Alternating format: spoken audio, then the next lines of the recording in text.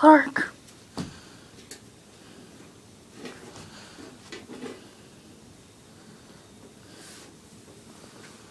Stanley. Stanley. Hi. Hi, Clark. Do you like this?